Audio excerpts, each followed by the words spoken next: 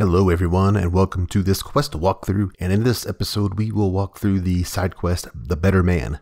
You can get this quest from the innkeeper Thorol at the Kraken's Eye in Port Maje Harbor.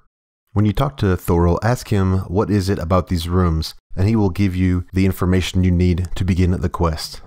He will tell you all the rooms are full and will eventually tell you about the merchant captain named Galleon who is overdue on rent.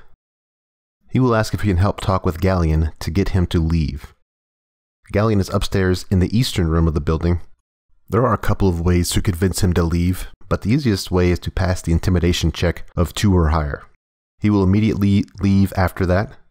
Once that is done, you can go back downstairs and talk with Thorol again, and he will be grateful and provide you with a discount to the room along with the rewards for the quest. You will get 1200 copper and 1965 experience split among all party members. And that is the end of this quest episode. I hope this helps you on your journey through the Deadfire.